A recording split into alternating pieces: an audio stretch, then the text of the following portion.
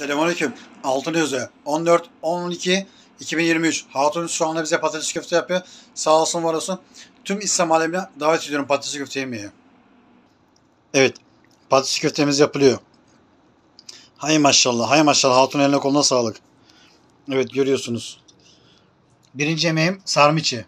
İkinci yemeğim patates köfte. Üçüncü yemeğim yine sarmiçi. Evet görüyorsunuz arkadaşlar. Anlatmaya gerek yok. 14 12 2023